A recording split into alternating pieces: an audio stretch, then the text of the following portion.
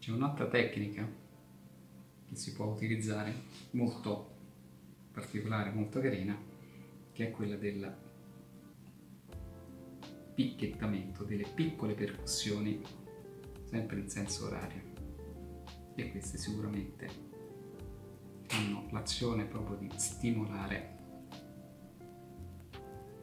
la defecazione. Potete sentire dei rumori a livello del colon proprio per l'attivazione della peristalsi.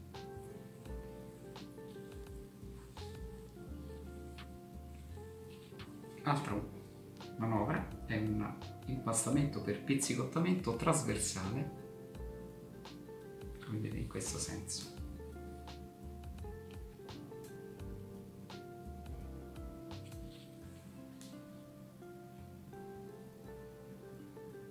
Sollevano le pliche e si scorda il tessuto.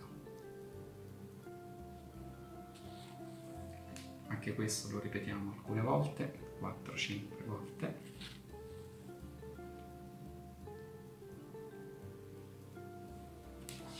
e poi andiamo a lavorare ancora con la frizione bimanuale simultanea sulla parte laterale con le mani sovrapposte frizione ellittica un po' più in profondità e andiamo a lavorare con i tessuti più profondi. In alcuni punti, come in questo caso, sentiamo l'aorta addominale, possiamo arrivare a sentire il battito dell'aorta addominale.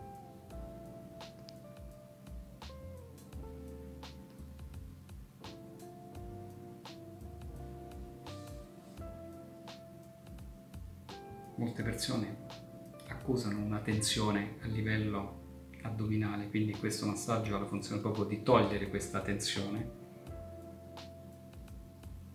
E altra cosa importante, il massaggio dell'addome quando ci sono delle, diciamo, delle disfunzioni a livello degli organi interni si deve lavorare non solo la parte dell'addome ma bisogna andare a lavorare anche posteriormente la parte ovviamente della colonna lombare, soprattutto a livello delle radici nervose che vengono, che ovviamente vanno a innervare gli organi interni.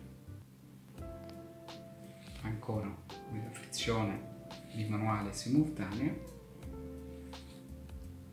Possiamo fare anche vedere la vibrazione, seguendo sempre l'iter anche questa ha un'azione ovviamente stimolante sugli organi interni.